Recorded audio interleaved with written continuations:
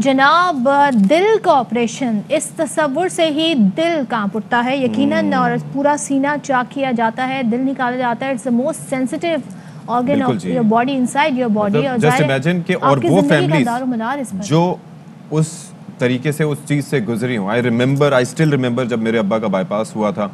वो कितना परेशानी का अमल था छः घंटे से जायद। है उससे पहले कैफियत और मिलते मिलाते हुए ऐसा लग रहा होता है कि पता नहीं सर्जरी की कामयाबी के चांसेस कितने होंगे।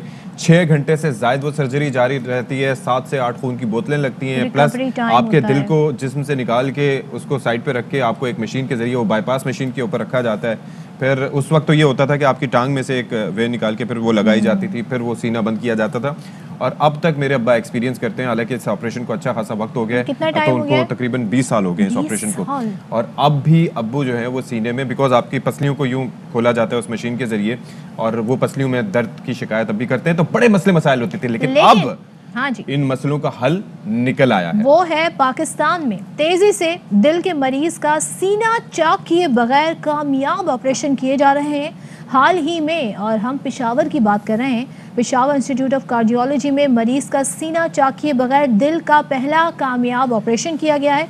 मरीज़ बिल्कुल ठीक है और रुबा सेहत है। ये एक ऐसा तरीका इलाज है जो दिल के मरीजों के लिए यकीनन यकीनन एक बड़ी खुशखबरी है। और। खास तौर पे जो लोग मतलब सर्जरी से इंजेक्शन से इन चीज़ों से जिनसे खून निकलता है या कट हम्म। लगता है उससे डरते हैं। उन लोगों के लिए बहुत ज़बरदस्त चीज़ है। बिल्कुल जी और ये बेसिकली जो पेशेंट है इनका नाम है आरजूमंद और ये चार बाग डिस्ट्रिक्ट स्वाद के रिहायशी थे इनको हार्ट स्ट्रोक हुआ था। उसके बाद उन्हें पीआईसी मुंतकिल किया गया और छियासठ साल इनकी उम्र थी। अच्छा एज भी बड़ा मैटर करती है ऐसे वाकयात में।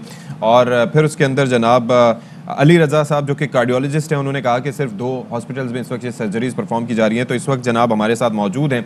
मायना सर्जन अली रजा साहब बहुत शुक्रिया डॉक्टर साहब आपने हमारे लिए वक्त निकाला। यू हाँ जी बहुत मुबारक हो आपकी टाई भी वैसे बड़ी अच्छी है। I really like your tie ये ज़रा बताएँ अब कि ये कैसे मुमकिन हुआ और अब किस तरीके से उसको आगे बढ़ाया जाएगा? लाइक ये कामयाबी का तनासब इसमें कितना है? इसमें जी thank you so much for your time जी। पहले तो आपके टाइम देने का बड़ा शुक्रिया जी। इसका जी नाइन्टी फाइव परसेंट इसमें सक्सेस रेट होता है जी। और हम लोग जो है है, ज़्यादातर मेनली तो टांग के ज़रिए से ही परफॉर्म करते हैं और यानी इसमें जिस तरह आपने भी फरमाया कि इसमें कट नहीं आता सीने पे और उन पेशेंट्स के लिए ज़्यादातर ये होता है जी जिनकी सर्जरी नहीं हो सकती। हम्म।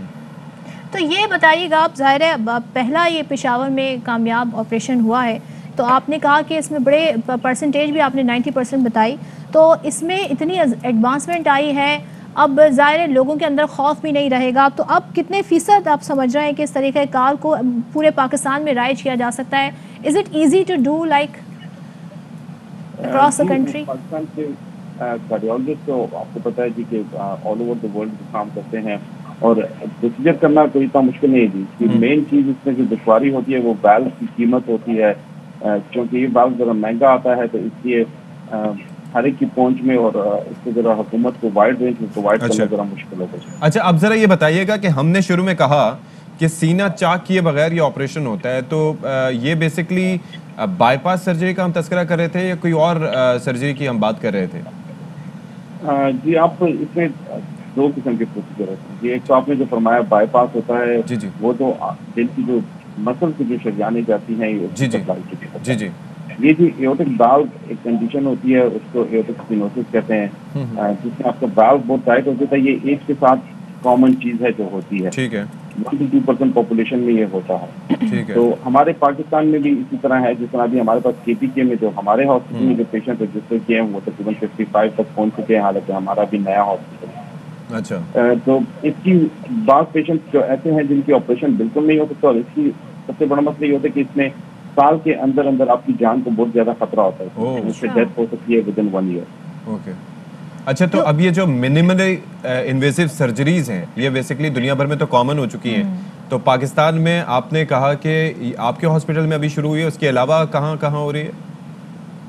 जी ये जो टैबी जो प्रोसीजर जो हमारा है ये तो जी एन आई में कराची में एन में बिल्कुल। जहाँ पे वहाँ पे होता है फकीर साहब बशीर हनीफ साहब कराची में वो लोग प्रोवाइड करते हैं। और काफ़ी वो उन्होंने ऊपर काम भी किया है पहले।